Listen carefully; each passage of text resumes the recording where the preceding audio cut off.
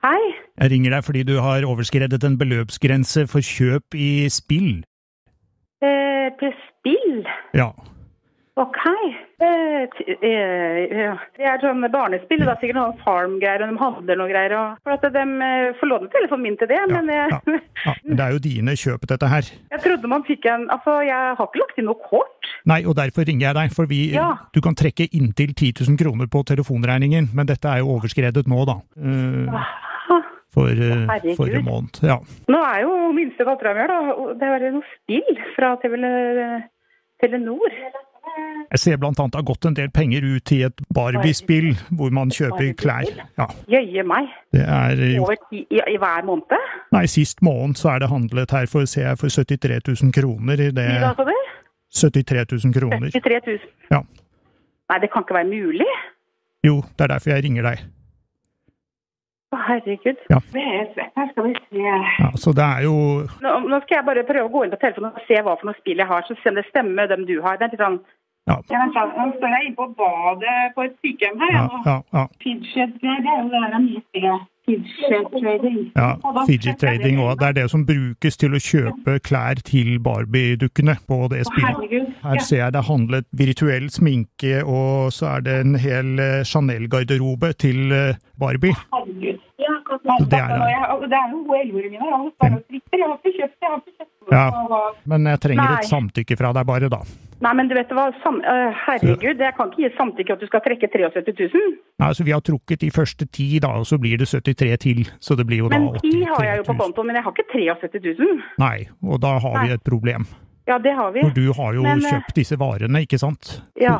Den virtuelle Chanel-vesken eksempel, den er jo nå brukt. Og Jo, de, de kan ikke returneres. Chanel-veske. For jeg spiller ikke Nei, dette her, men altså, nei, hun kjenner kan- seg ikke igjen i Chanel-vesker. Nei, altså du må ikke, du må jo ikke skylde på barna dine her. Nei da. Nei, nei hadde du sagt Facebook og noe, Ja. noe Snap og noe greier, så hadde jeg Ja. kjent meg igjen. Men eh, Ja, og det kommer vi til etter hvert. Så det er noe som Jeg må ringe mannen min og spørre hvordan vi skal gjøre det her. For det er liksom han som Det du kan gjøre er eh, Ja. Vi kan eh, legge inn en eh, forespørsel til det Ja. som heter International Games Claims. For det hender jo, Nei. ikke sant, man låner bort telefonen til noen unger, og så blir det gjort noen kjøp, og så er det ikke bevisst. Jo, men det Eh, er sikkert gjort noe, men i den tro at det ikke det koster, da. Ja, ikke sant. Nå gjør jeg opptak av denne samtalen, og jeg kan Ja. sende det opptaket til International Games Claims. Da må, du, da må du på engelsk eh, inn i en liten erklæring. Det beste engelsk? Ja. Om at dette Ja. har vært ubevisste kjøp. At du enten har vært beruset, eller at noen andre Nei, har lånt har det. ikke vært. Det er som en rus når du kjøper fine klær og sånt, vet du. Ja. Eh, Men jeg starter opptaket nå. Vær så god. Ja. Hello, my name is Karianne. I have uh, uh, buy some uh, play for um, 70,000. Can you please help me to get uh, hva som heter, stop it? Ah. Because I ja, jeg vet nesten, ja, jeg tror jeg må, vi må Nei, ta den en gang til. My English is not so good either, but if you say that you kind of went five on Nei, vet du hva, nå begynner jeg å grine. Jeg tror jeg, Nei, nei, ikke gjør det. Prøv å bevare fatningen. hvis du sier I went five on, at du har gått fem på og latt deg lure, rett og slett her.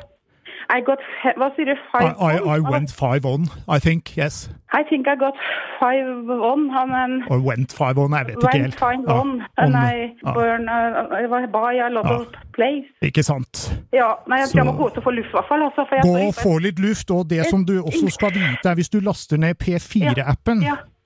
ja. eh, den, Nei, da, da får du reversert mye av dette.